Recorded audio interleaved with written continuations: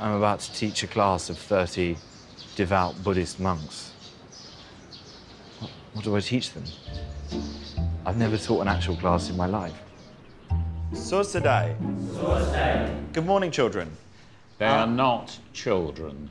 They are young men. Okay, sorry, that's what you just it's normally what you say as a teacher, so I've... Good morning, monks. I am your teacher for today, Mr. Whitehall. I'm going to be teaching you some words that I don't think you're going to find in any of your English textbooks, um, but words that the young people, uh, the Ute, are using back in the UK.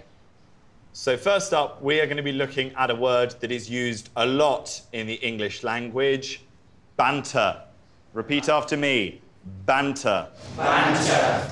Say you are down the boozer with a couple of your mates, sinking a few jars.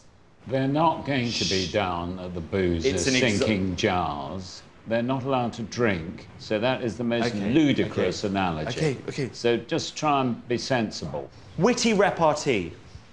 The jocular exchange of fun remarks. Insults. Bit of fun. Uh, these are some versatile insults that you might want to throw around. pillock. Pillock. He is a pillock. Oh, nice, yeah. Good. He's, he's a quick learner. Muppet. Muppet. Old git. Old git. I have one question about old git. So, what is the meaning of old git And give me the example. Thank you. Good question. An old git um, is an old man, a sad man, an angry man, a grumpy man. Class, if we just look over to this gentleman over here and we all say together, old git. Old git. Wonderful. Very funny, Jack. I could see that coming a git. mile off. Cockney rhyming slang.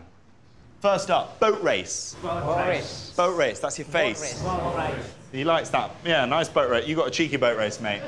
Next up, Pete Tong. It's all gone. Pete Tong. Wrong. Barney. Barney. Rubble. Trouble. Trouble and strife.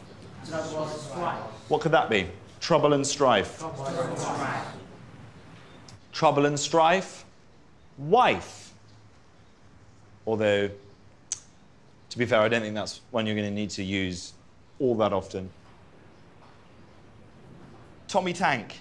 I think you Probably can not- leave the next Yeah. one, Jack, and the one after. Tommy Tank. Yep. Okay. Yeah, and then We we'll don't leave the next one too. Berkshire Hunt. Again, yeah, that Yes, is probably not. definitely. We don't need that.